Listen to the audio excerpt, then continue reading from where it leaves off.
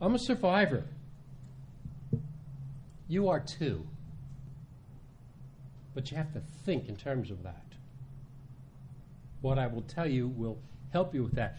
Some of you are well beyond where I am, and I apologize if this sounds very fundamental to you, but there are lessons that I've learned, as you can see, the hard way. And, you know, that little fiasco was six figures in climbing, okay? Low six, but it's still six figures, plus unbelievably disruption, disruptive to processes and doing things. I couldn't get coordination with the insurance carriers initially. We'll get to that in a minute. But if you're a savvy business owner, you're going to want to do a couple of things. First is, I think it's probably obvious, is check your BOP policy to see what your coverage is for papers or data. They actually call it data. And you may, you may think of data as that which resides in your PC. Well, guess what, folks? You just saw part of 14 filing cabinets and boxes. You got just some of them. You didn't see all the boxes. You saw some of them. That's data. And you can get help to get recovery on that. But you've got to make sure you've got a high limit on the data.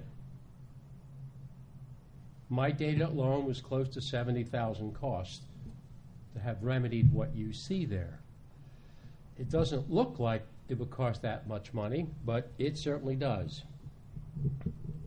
Now, the other people like this will be people in Laserfiche Cloud for a bunch of economic reasons, not dealing with the, the, the flood per se. It deals with the fact that if you're an IRA or an RIA, IARR, there's responsibilities that you have, and one of them is a business continuity plan. If you don't have your data and your information, that would be the beginning, I would think, of a continuity plan. So moving forward,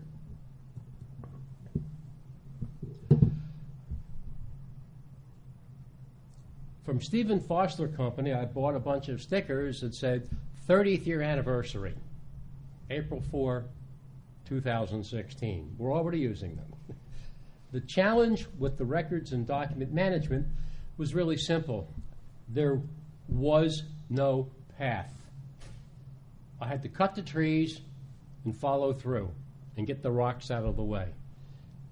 This wasn't something that I could plan. Usually, you plan a vacation, you plan what you're going to do, you plan to buy a car, you plan to get married, plan to have a baby. You don't plan to have a flood, but you need to react to it and quickly. I didn't have time to learn about all the wonderful things that Laserfiche had then, so I designed some things that made it work. None of which would have happened without the help of the man in the front row, Zaire Master, who's my very valuable added reseller from Accelerate Information Systems. He's at least two and a half hours away. He drags me to Brooklyn to give me cream cheese and bagels. I have to get up at four in the morning to get the first train to get there. It's a tough deal going from paper to digital was was was tough, really tough, because I'm embedded with this paper mentality. It's not real unless it's in paper. I have to touch it. Digital presented the challenge of document organization. Number one, how are you going to find it? How are you going to name it? So I think in terms of other people doing this for me, who don't have a securities license, who don't have an insurance license don't do not understand what FINRA is and what the requirements are.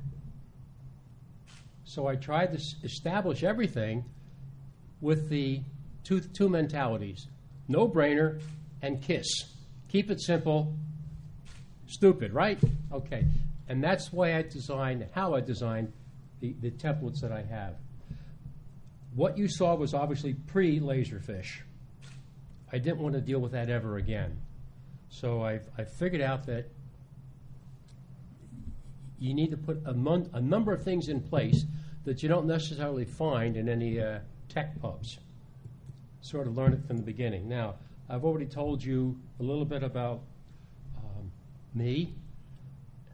We're a full services firm, and Not your father's Oldsmobile? Well, more than half our revenue comes from hourly fees we charge for ideas we have for people. The rest we get from asset management and things like that. Uh, one of the greatest challenges I had was to deal with a client who was uninsurable, cancer. He had a death sentence on him. And I found a way to get him a what would amount to a million dollars worth of life insurance, no premium, no physical, and it's it's paying off right now. The family is now getting twenty three hundred dollars a month income. You can read about that on my website. Just look for the story called Protecting the Vulnerable. I didn't write the story, I had nothing to do with it. The people at Horsesmouth wrote the story. They interviewed me, asked a few questions, and went from there.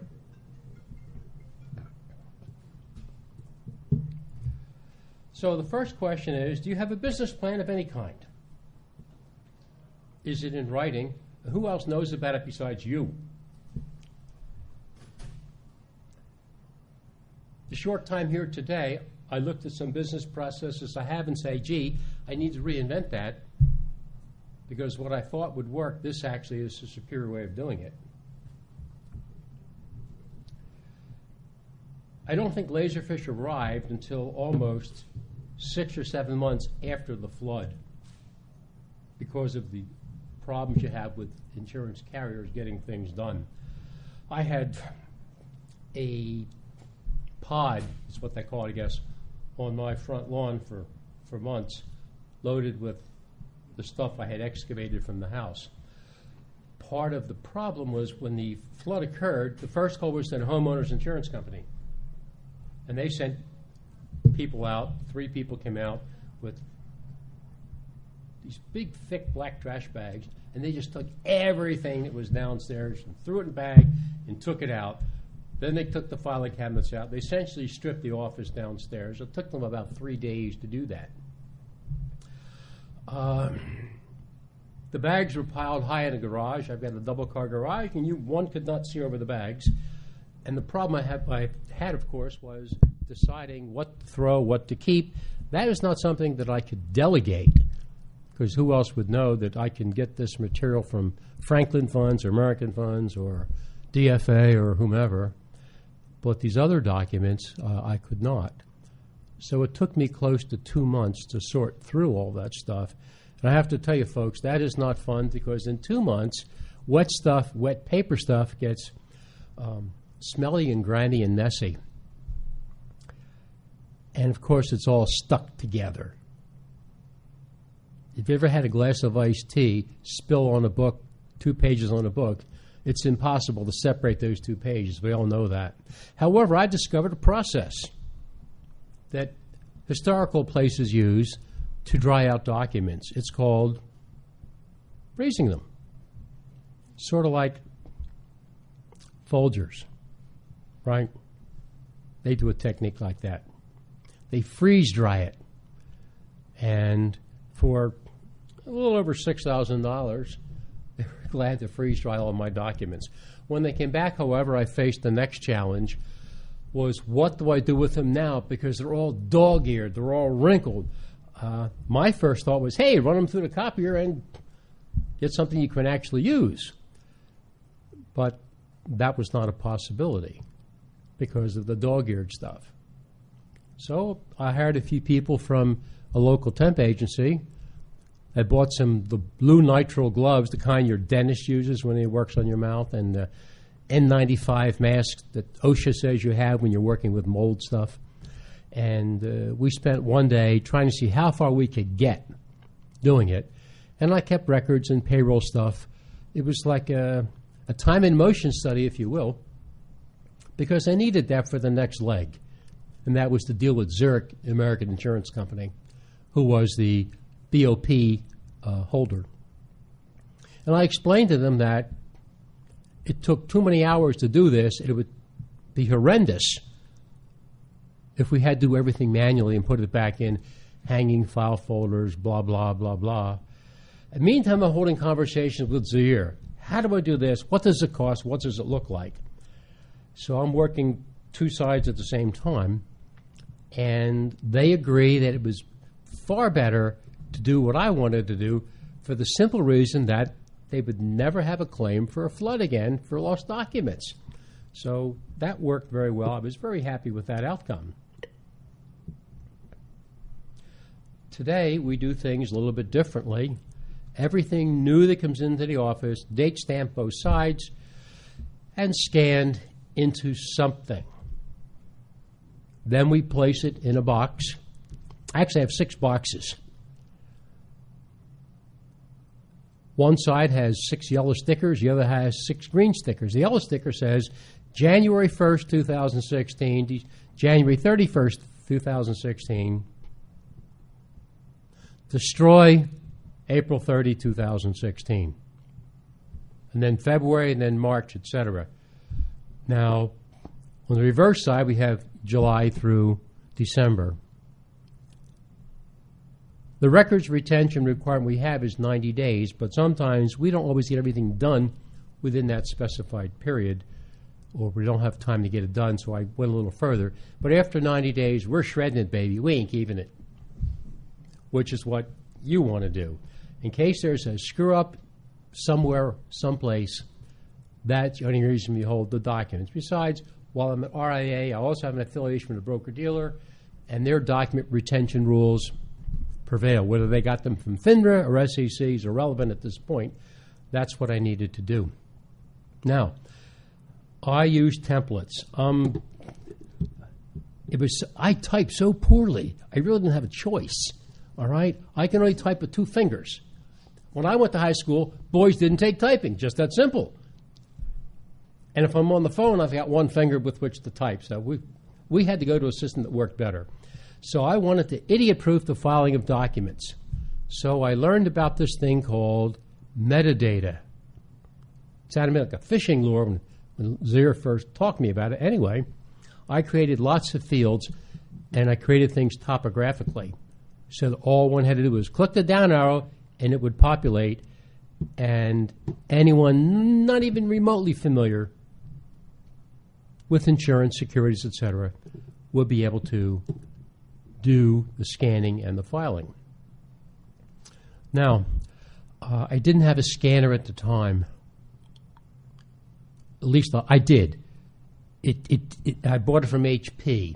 They said it would do 20 pages a minute. I was thrilled with that, except they were talking 150 DPI. I was looking at 300 to 600. So that was not acceptable to use for a project of this magnitude. So again, I went back to the insurance carrier and said, look, you know, you want to do this speed, or I've got this handy dandy little machine here from Kyocera Mita, and gosh, it, it scans at 35 pages at 300 DPI, and it's only a mere 12.6. And uh, they agreed because it made economic sense to them as well as me. Now, I'm going to show you one of the templates that I've used. Uh,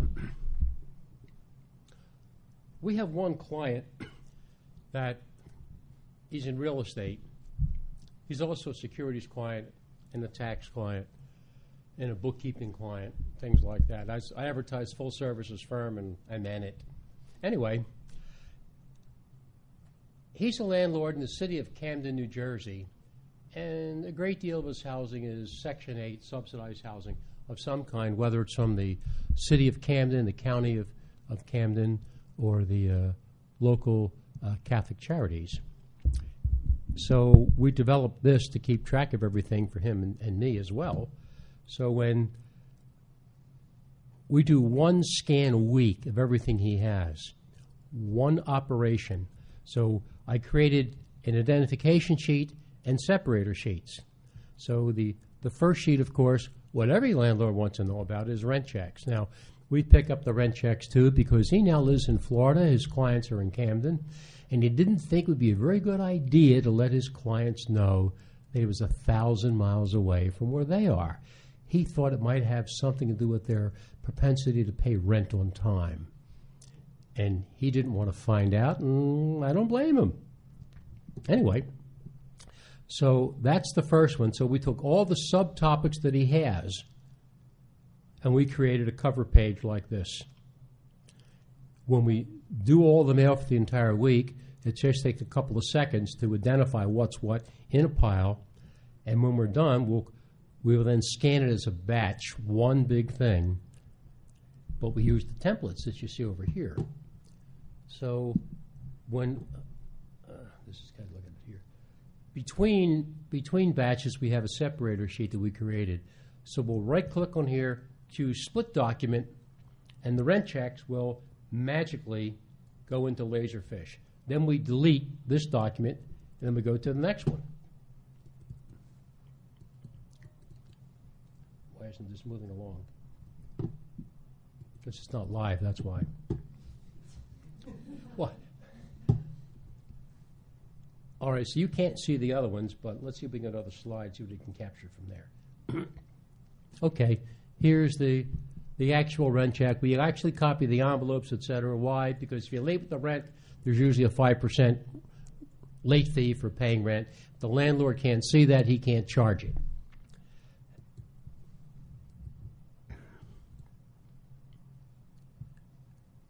And when we've gone through all of these, this is what he sees his bank deposits.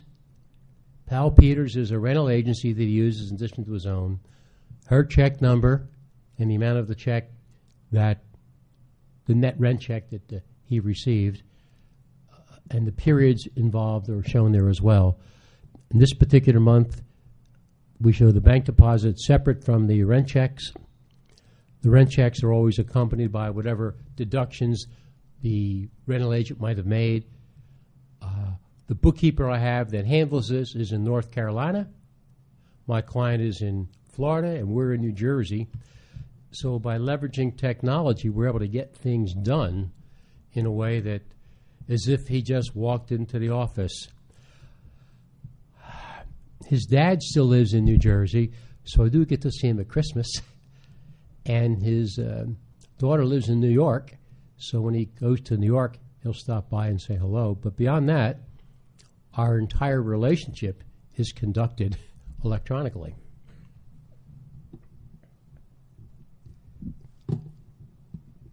Now, I don't think you can see the right-hand side of the screen. Let me see if you can. Yes, there you go. Now, these are the various templates that I created and what the fields look like that are inside of them. Now, for investment people, we're going to look at the far right. So we, we have a doc account type, 401k, you know, the usual, same stuff you guys have, gals have, no difference here. And here are the, the template is called account type investments. This template's investments. This one's correspondence. Correspondence we've set up kind of different because the BD wants to see all incoming letters, correspondence of any kind, as well as the outgoing on a monthly basis. You all know that. You've got the same requirement. However, Laserfiche allows us to segregate these. There's a field in here, I don't know if we can see it on the screen or not, that we segregate some as inbound or outbound, and whether it's securities or non securities or personal. So when I, at the end of the month, when I have to give this information, I do three clicks. I pull up the correspondence template, I put in a date range, and I check incoming or outgoing. 30 seconds later, I've got a PDF, and that's off to my OSJ. The same thing with the uh, outbound correspondence. Now, if you compare that to what we did before, wow, we had to keep a separate folder. I remember the first time I had an audit. The auditor flew in from Denver along with my OSJ and said, Well, give us the records from Maria Kennedy. No, give us all of your records for inbound correspondence. I said, Which client? Well, my largest client's Maria Kennedy. You want to see hers? Well, no, we want to see all your records. I said, well, why don't you just pick a client because I file by client, like most people do. They weren't happy with that, so I got a little um, reprimand because I couldn't produce the stuff on the spot. But if you tell me who you want, I can pull the folder and get it for you. Because on all my correspondence, in a pen, in a manila folder in a Pendaflex by year. It wa- It wasn't I didn't have it; it just didn't have it the way that they wanted it. If you've dealt with a regulator, you understand it's yes sir, yes ma'am, and it's that or get your checkbook. Take your pick. Okay, and if the regulator doesn't ask for the checkbook, your broker dealer will. So I learned then to segregate that stuff. Now, that's handy. So I, initially, I kept it in a middle. Of, I kept it in a folder. The folder might have been an inch thick at the end here, two inches thick. Who knows? But I had to retain it. It's something that's in the way. Outbound, the same. I have a lot of outbound correspondence. It was a nightmare. Something I didn't want to deal with and and the process that I used was so cumbersome. I would print. I would have a letter dictated. I'd have it printed. I'd sign it. I'd make a copy. I put one copy in this in outbound folder. I'd mail the other one to the client. When I got to Laserfiche, the ear says, "Why are you doing that?" And I said, "Well, that's the way I've always done it." have any of you done that? This is the way we've always done it. You never think of changing it? It's called zero based budgeting. You start from the ground up and say, forget what process we're using. What's the most efficacious way to accomplish the end, end result? So Zier's comment was, we don't have to have a folder inside of Laserfiche that says outbound or inbound. Uh, why don't you just use a template? I said, huh? Yeah, yeah. You, he says, first you get electronic stationery. Well, how do I do that? We have paper. Yeah, I have paper. Well, send me the paper stationery. Send it to Patrick Leon. Okay, I did that. But what about you? Don't worry about the electronic. Just give me three samples of your signature and email that to me and shut up and go away. I'll be back to you later. All right? yes, you did. and I said, but but the second page of my stationery has my logo embedded. It's a picture of an ark. it's really funny. A guy, a guy with two floods, and his logo is Noah's Ark, right? Talk about an irony. Anyway, the result was if you're comfortable keeping things in a client file, don't change what you're doing, was Zier's advice. And my thing was, well, well, how do I get it? He says, create a field inside your correspondence template, which has outbound and inbound. So when you store this data in the client file folder, it'll be appropriately labeled, and then we can show you how to use the search function in Laserfiche and pull it out. I couldn't believe it was so simple. Unbelievably simple. And the mere, I, I hate to say this, close your ears, ear. The mere pittance that Zier charged me to do that, to do the letter thing, was less than the cost of getting the stationery reprinted. now, in the, in the broker dealer world, uh, firms get acquired, names get changed, phone numbers get changed, things like that, and that's usually another trip to two people. Uh, the first is the compliance people at the broker dealer. The second is the printer. So what Zier showed me how to do completely took the printer out of the picture. I've saved a bunch of money by never having to use a printer for that. I spent my money on these PSAs because I thought that would generate more goodwill than anything else. And I just, I, on purpose, I didn't put the phone number on here. It was not an oversight. I didn't want to appear obstreperous. I thought, if you're interested in what I have, interested in me, everybody knows how to Google a name and locate me. That's where that business is for securities, non-securities, et cetera. And from that, I started building template after template after template uh, to do things. So much of what I do is one of a kind. It's not repetitive. I would love to use quick fields. I've been in two of those seminars in the last two days. But uh, um,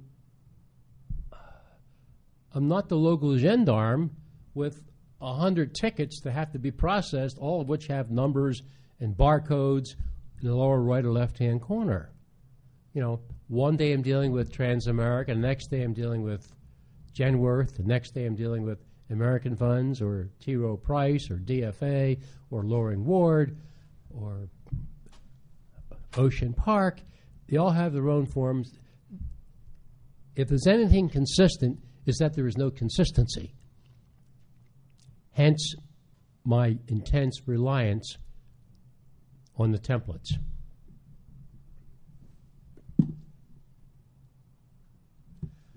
Now, this is a screenshot of web access 9.2. I know they talked about 10 today, but this was done back in October 9.2. And it shows you how easy it is to add another name to an existing field. This field was called assets, assets slash security slash whatever. Uh, so whether it's AIG or AARP, I've got all of that here. It's click the down arrow when you actually get into the program, but this is how the information gets there. The administrator function is segregated from the operating function, and by design, because I didn't want a neophyte going in there, erasing what's there, or, quote, making it better. Okay? I reserve the right to be the administrator and I'll let the employees do what they need to do.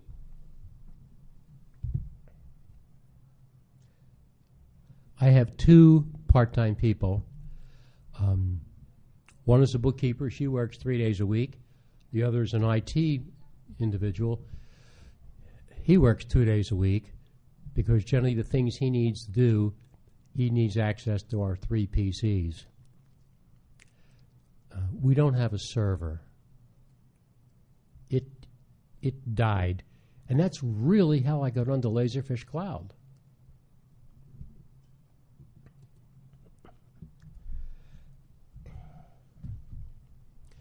It was December of 2014. My server was running extremely slow. I knew that Bill Gates was going to yank support for Small Business Server 2003 edition. I priced what a new one would cost, and then, of course, you're looking at 2008, but they didn't want to sell 2008. They wanted to sell 2010 or, or 2012 and roll it back to 2008 or something like that. A rather major expense. So Zir and I had talked a year and a half earlier about this cloud thing, and it was a discussion. Nothing meaningful came out of it, but I said, hey, where are we on this? Can I jump into this? And he gives me a ballpark price of what he thinks it's going to cost to do this. And like that commercial on TV for the lady with the AARP, sign me up. I can't, we're not ready. When I'll be ready in two weeks, three weeks. That's what the home office tells me. Fine. But my server is dying. It's only four gigs, and it just can't handle what I'm trying to get it to do. Recognizing that Zir would, would handle the transition to Laserfiche, I made what I thought was a deft move. I said, Hey, Zaire, why don't you back up my server? Now, I already have it backed up with another company who does it slightly differently than Mozy does. Zaire was using Mozy at the time. But I recognize if there's going to be any uploading down the road, if it came from Zaire's server, I knew I knew it would be fine. His backup system. And I left for a business trip after that. Well, when I came back from the trip, he was unable to download the stuff into his computer because my server kept crashing on him.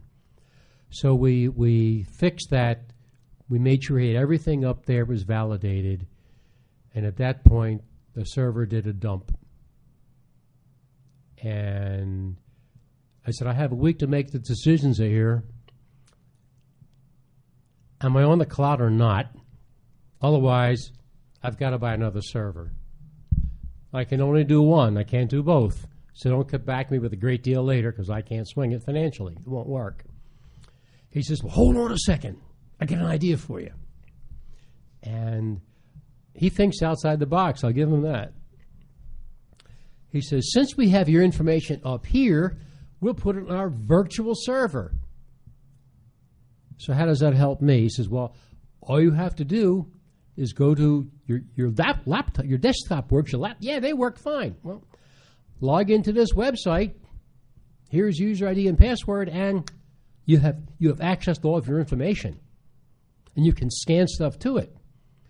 Well, there was a small learning curve with that, but not a lot. And I paid him a modest fee to store the data on on his stuff, which I was grateful to do. I also kept the first server guy's stuff completely backed up and saved because until I knew where I was, I wasn't going to let anything go. I'm kind of like a belts and suspenders kind of guy, all right? So around April or so, he says, We finally have a document, sign it, blah, blah, blah, blah. And I said, I'll sign your docs. I have one request. I'm going to be the first guy because I've been waiting for the sucker for a long time. and he obliged me with that and I was. And I said, By the way, what version am I getting? He says, Well, I'll be truthful with you. You're getting the pre beta version. Actually, said beta version. All right. I said, Oh, I've heard of beta versions before. No big deal. Well, I expect to get a bill, my charge account to be, my credit card to be hit the next month for the fees for the uh, Laserfiche. It wasn't and it wasn't the next month, and it wasn't the next month either. And the reason is, I kept sending stuff out to Jared Cheatham here in Los Angeles saying, this isn't working. How do we make this work? There's a broken link here, blah, blah, blah, blah. So I, I, I guess at the second month I said, Z, are you sure this is a beta version? He says, well, I fibbed just a little bit. It's really a pre beta version. Yes, yeah. what he just said, if he can't hear him in the background, he said he represents that. so it wasn't until August, I guess, that I was full blown into uh, Laserfiche um, on the cloud. I opted for the um, desktop version because that is something with which I am comfortable and staff is comfortable. After all, we started with 2007, went to version 8, and then went to version 9.2. Everything wasn't perfect, but it worked, and we had workarounds. But more important, we had a VAR. It was sensitive what we were doing. I received unbelievably good service from Sierra Singh, whom I think is his main IT person. I tried to focus everything with one person because it's all new, thinking I'm not the only person that's going to have this experience. One person needs to have this in their their brain so they can help other people. And, that, and that's been a very good relationship. Now, moving down the road, I've got all the stuff working in the cloud, which gives me access to lots of other things. So, what I've been able to do with Laserfiche with, with clients is to take documents and use the redaction features to send things to clients where you normally can't send things to clients. For example, in the last meeting I discussed, they were discussing signatures on documents. And I said, well, if you got a trust account with two different people, not related, you really can't show either one of them the SOCH or birthday number or occupation of the other person because that's personally identifiable information. It certainly isn't public information. With Laserfiche, not to worry, you can redact that stuff, send it out, have client one sign it, bring it back, put it back in again, redact the other guy's stuff, and send it out. That's something you couldn't do in a manual process. And they can email it back because we have a secure email system. So I save a lot of money on FedEx, UPS, and the post office is speed. So I don't think that their savings that I thought about calculating, because if you don't know about redaction, if you don't know about, you can go into something, you can click uh, annotations and click text box and put a field in because the form that you have wasn't generated properly to start with, like it doesn't have a co-trustee. I can't imagine why Pershing would have a form that didn't have a, a, a co-trustee, but it didn't. I can't fight Pershing, so I just I borrowed from Clint Eastwood, who doesn't live too far from here, in his 1973 movie Heartbreak Ridge. His famous quote was achieve, adapt, overcome. And that's the strategy. It works. You don't get upset about it, just move right along. Now, business overhead policy. Uh, you're not unless you have a casualty insurance license. I suggest you have your business overhead policy reviewed by someone that's had claim experience for floods and things like that. Now, I, I might add something else here. I don't know if this is being recorded or not. We'll just take our chances. But first slide said about being independent. My broker dealer doesn't use Laserfiche. They use some other product.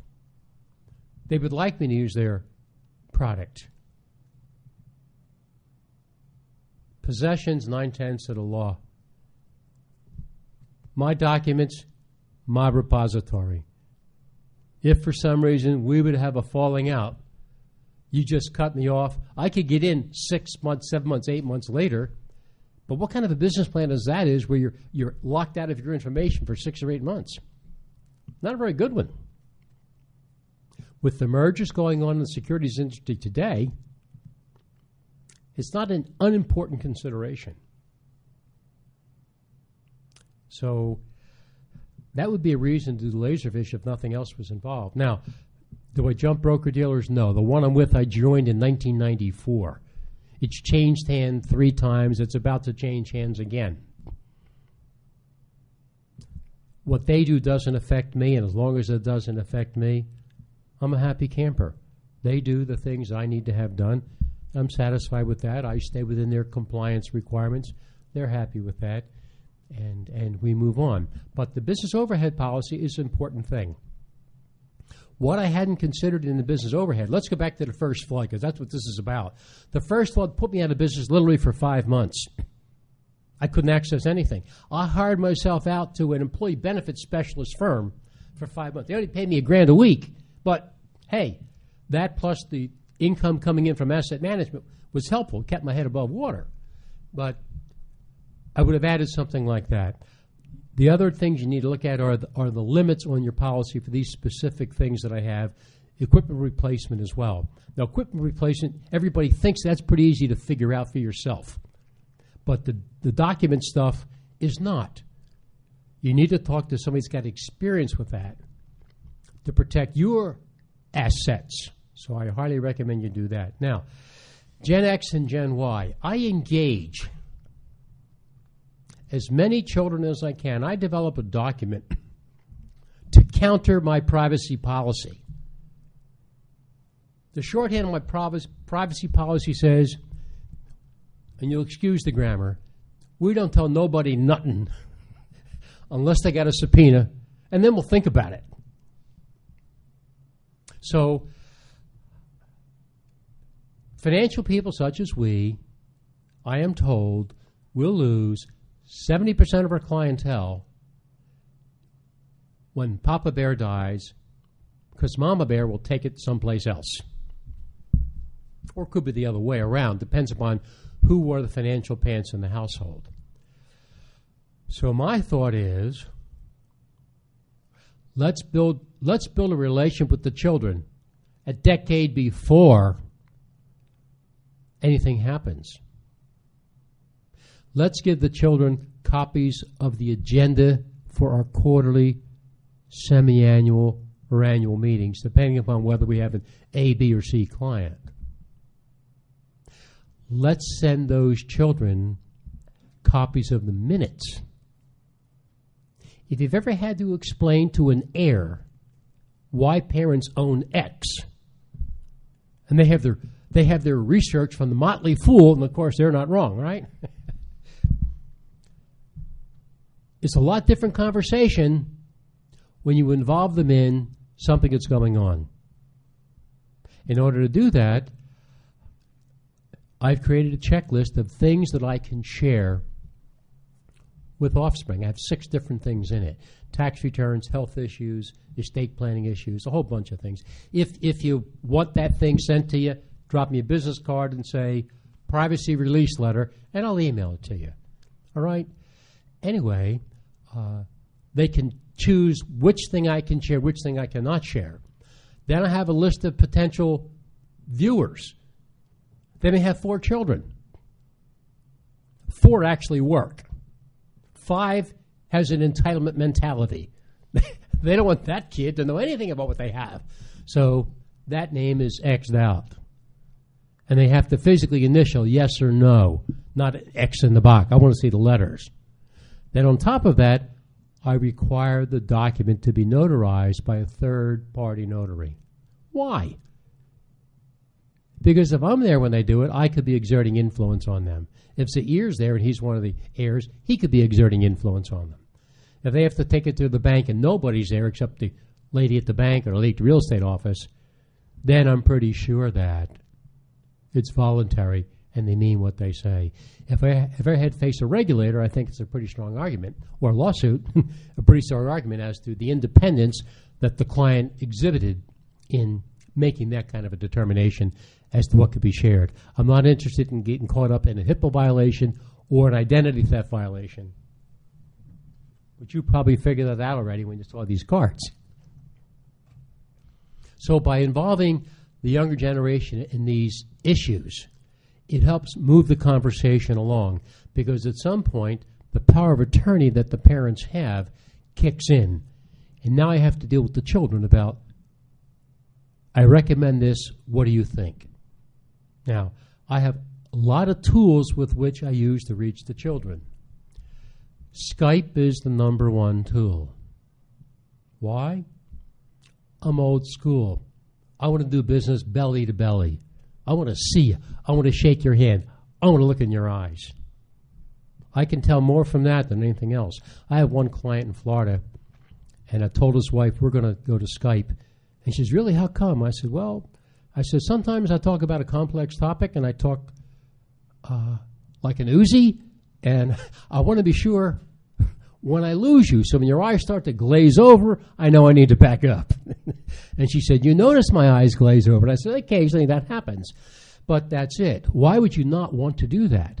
I mean, this technology stuff is great. But quite frankly, texting is not how to live. People, we're in a people world. The last seminar I went to talked about human involvement leveraged with technology. We need to get the emphasis on the correct syllable. We're the movers and the shakers. The technology leverages us the ability to do that on the scale that we couldn't do otherwise.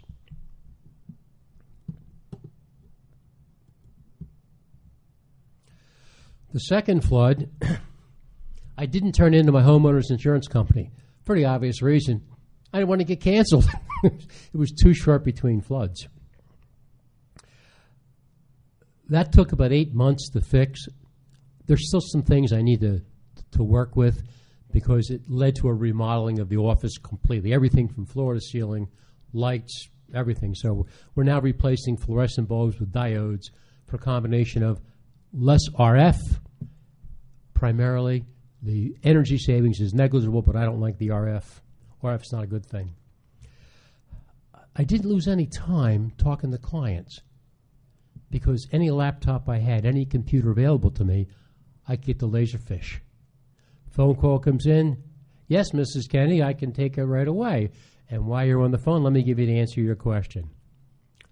The only reason I had to get out of my chair was to fill my coffee cup, not to go to a gosh darn filing cabinet or go to a banker's box with white, white fingernails and separate the folders to try to find something that was misfiled.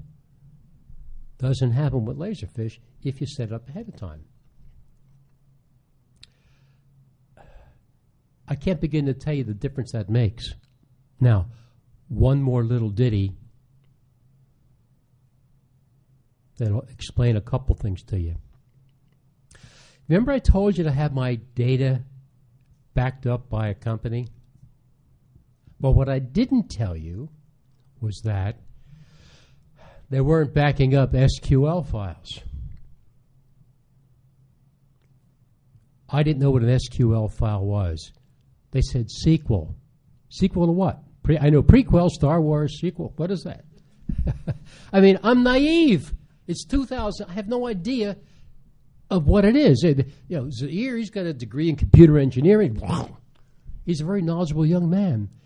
And he just assumed that because I could talk as fast as he could, he's a New Yorker, nobody can beat him, uh, that I understood, but I didn't. So another valued vendor said, We've discovered that someone that had Laserfiche lost all of their files. They believe they were back up, but the system they used did not back up SQL files. Here's a company to whom you can go, and they back up SQL files. And I did. I was very happy with them. A little unconventional way they did it, but the price was right. I still kept the other company. How much time have we got left? I'm near the end here. Yeah, we got nine minutes. Well, anyway, uh, I still kept the other company. The other company is Carbonite. Just a quick little thing for them that may help you. I found out that not every employee puts everything in Laserfiche, regardless of the fact they're supposed to do that. So all of my PCs are dual hard drive, either 300 or 500 gig. And I encourage them to work on Drive Delta for the data that they're saving, files they're saving, and Drive Charlie for uh, programs themselves. So what Carbonite does is it backs up the files uh, for me on a real-time basis. If the file folder is green, it's backed up. If it's orange, it's not backed up. If it's neither dot, you've not selected it to back up. The second thing they've done is that they offer to image your Drive C. Now, I'm a guy that does time and motion studies. I was a management major in college initially, okay?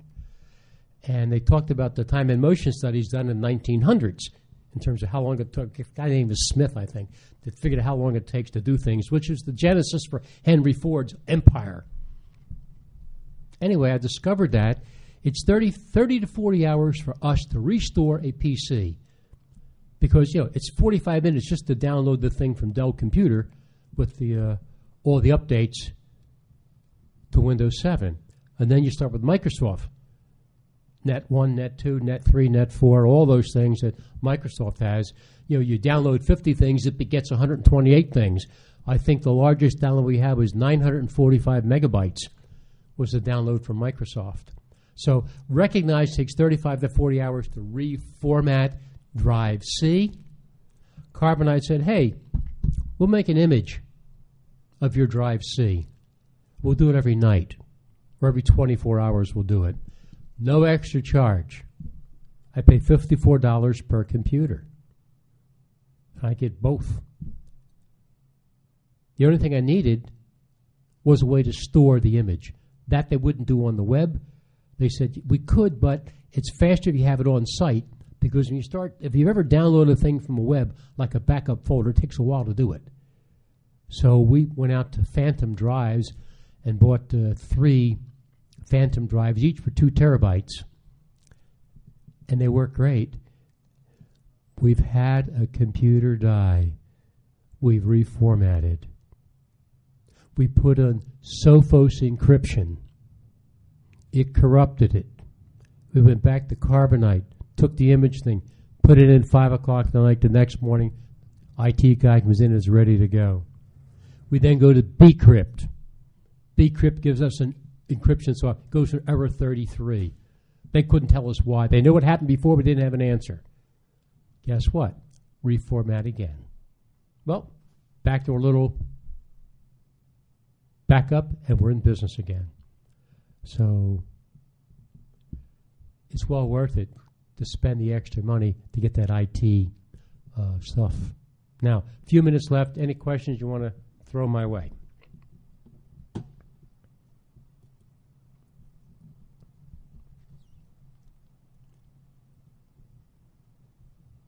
Then I'll give you one other tip, and that is you need a VAR I don't care what your operation looks like, you need a VAR.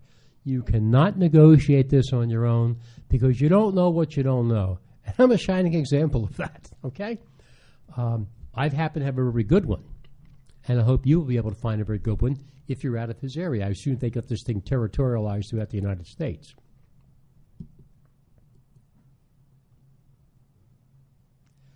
Now,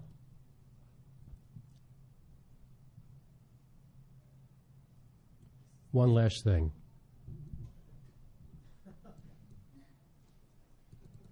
It's not going on, Len, Maria.